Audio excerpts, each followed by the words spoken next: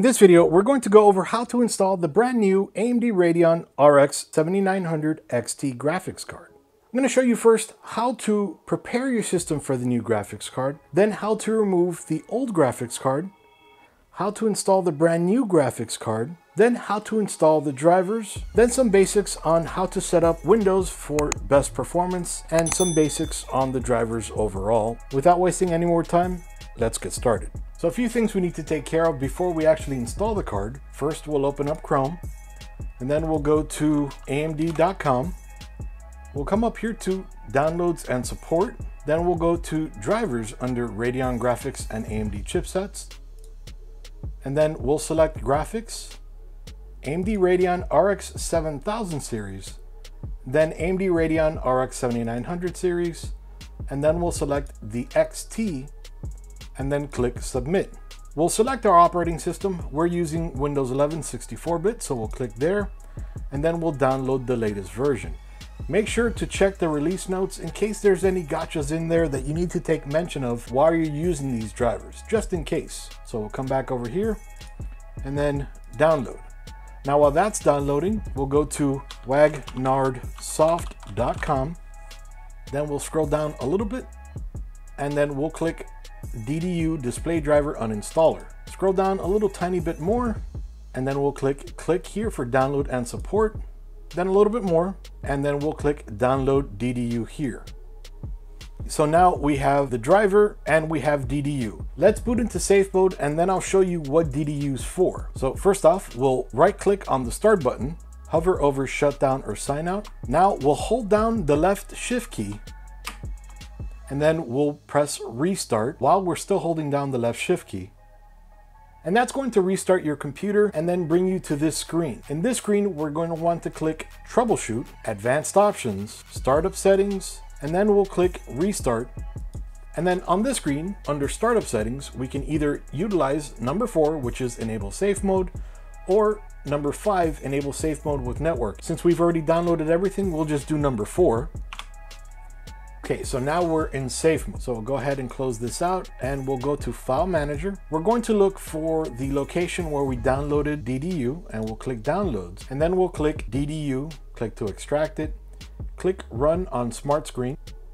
And then on this screen, we'll go ahead and change it to, let's say for example, DDU. So it's going to extract onto the root drive in a folder named DDU, and then we'll click Extract.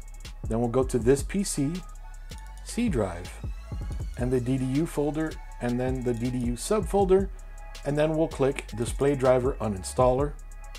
We'll click OK on this message. And then incredibly important, we scroll down here and then we select prevent downloads of drivers from Windows Update when Windows search for a driver for a device and then click OK here. So what we're doing with DDU is we're clearing Windows of the old drivers. Even if it's a new install of Windows, it has old drivers. And then we're giving ourselves a clear foundation so that we can install a new set of drivers without any of the potential issues that the older drivers had. Now what we did with that check mark is we need to restart Windows to get into regular mode to install the drivers. With that checkbox unchecked, Windows is going to say, hey, wait a minute, I don't see drivers. Let's quickly download the latest drivers so that we have the best drive. But what Microsoft considers the best drivers aren't actually the best drivers. So what that check mark does is it stops Windows from downloading the greatest drivers and allows you to install your drivers. So let's keep going. Then here we'll click close and then we'll select GPU and then here we select AMD, NVIDIA, or Intel. Now we're removing an NVIDIA card, so we'll select that. If you had AMD, you'd select AMD. If you had Intel, you would select Intel. Not everyone has a graphics card. You might be using on-die graphics coming from your CPU. You're either going to have Intel, which is listed there, or you're gonna have AMD, which is also listed there.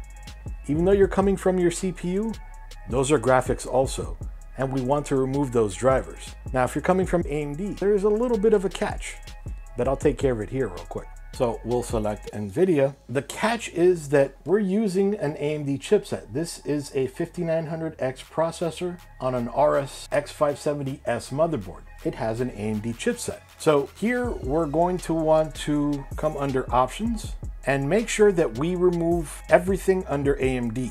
That's very important because if not, it's going to remove your chipset driver. If you leave that checked, it's not the end of the world. We can always reinstall those drivers later, but this will save you a little time. Again, if you have an AMD chipset, uncheck everything here. If you have an Intel chipset, you can place a check over here, over everything, and over here as well. Since we're coming from NVIDIA, we wanna place a check under everything here. If we have an AMD chipset, uncheck everything here so that we don't have any issues. Okay, so then we'll minimize that and we'll click close here and then we'll select clean and shutdown. Clean is to remove all those drivers and shutdown is so that we can install the new graphics card. So let's do that real quick.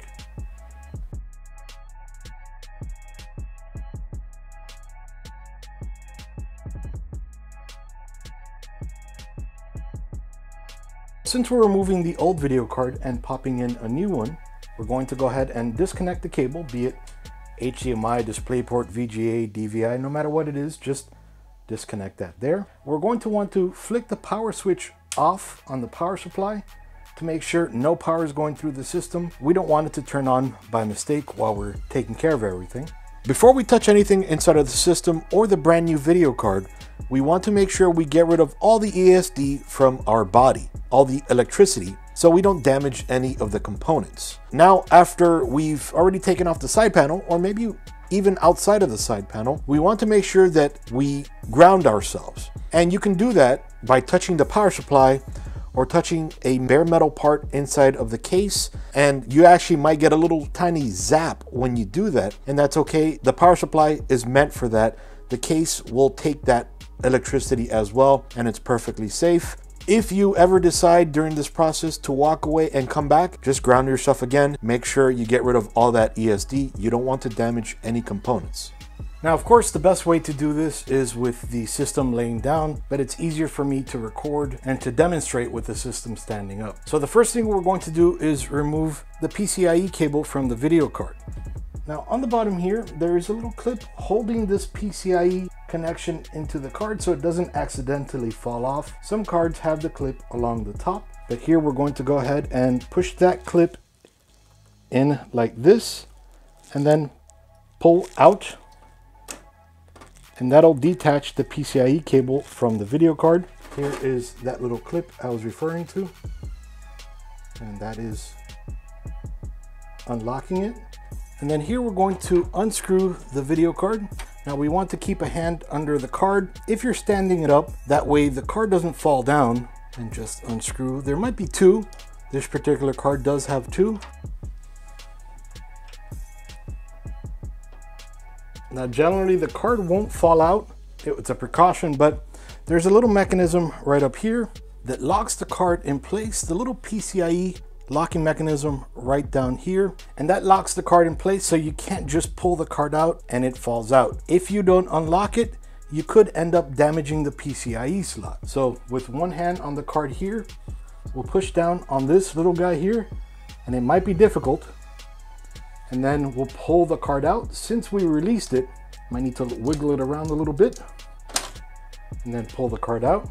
That locking mechanism locks right over here on the video card and that holds the card in place. So now we'll go ahead, take this beauty out of the box. And now if there's any piece of plastic over here covering everything, we want to make sure we remove it like right over here, this plastic cover or rubber cover is covering the PCIe portion of the card. So we'll take that off. Now, in case you didn't have a card before, if this is upwards, it's locked. So we want to press down on here to unlock it. And now we'll grab our card and we'll go ahead and first off, make sure that these two pieces of metal. Slides between the inside of the case and the motherboard here. These two pieces of metal on the back of the tray for the motherboard where these two are going to insert. So we'll slide that right into here. Now we'll push these gold fingers into this slot right over here. Make sure to match those pins up. And then that locking mechanism is going to pop right back up once the card is fully installed. Okay, you saw that click right back up. And now we'll go ahead and screw the card in over here. And this is the back of the system so that you can see those two metal pieces when they come through here. See how they popped out right over here. And then we do need to connect both of these 8-pin PCIe connections. The clip again is on the bottom over here because we don't see any place for the clip to be up there.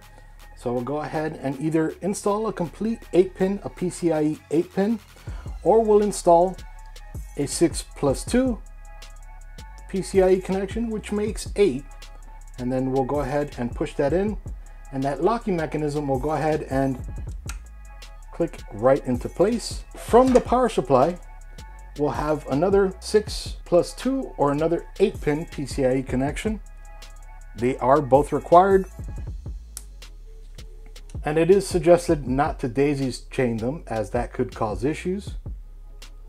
So uh, go ahead, push that back in and that locking mechanism again will just click right in place. Now this part is also incredibly important. If you're coming from onboard video or you have onboard video on your CPU, make sure that you don't connect your cable onto the onboard over here. Now that you have a graphics card, you're going to want to connect it to one of the ports over here. There are two DP connections and one HDMI as well as a type C connection. And then we'll go ahead and just install it right in here, HDMI. That's the cable I'm using right now. Since we flicked it off before, just go ahead, turn your power supply back on. And now we'll go ahead and turn the system back on.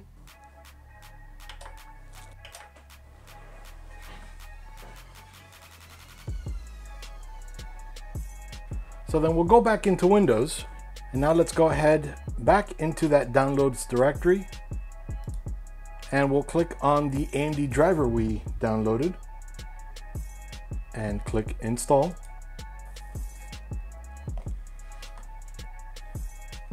Then we'll do a full install, so click install here.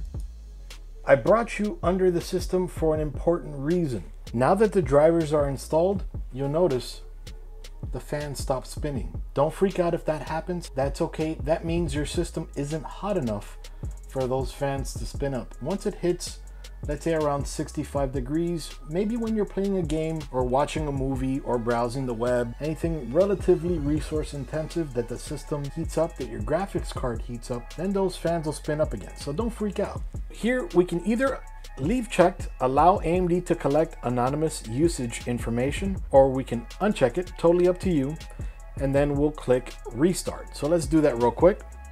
Now I want you to take notice, there are no RGB lights on the card. There's none on the bottom, there's none on the side, and there's none along the top of the card. Once everything's installed, you definitely want to make sure you take care of a few things. We'll right click on the background here, we'll click show more options, and then we'll click display settings. We'll click advanced display, and if your monitor can do 120, 144, 240, 360, however many hertz your monitor can do, you want to click here and select that. I'm running off of a capture card. It can only do 60 hertz, but this monitor can do 140 hertz if I were connected directly through HDMI without the capture card. So then I would select 144 hertz, keep changes, and then click apply down here. I just wanted to mention that so that you can get the most performance out of your card. Here it shows you AVT GC513 connected to AMD Radeon. So that's my capture card here. Close that. So then after that, we can come down here, click on the little caret facing up, and then we can right click on the AMD Software Adrenalin Edition.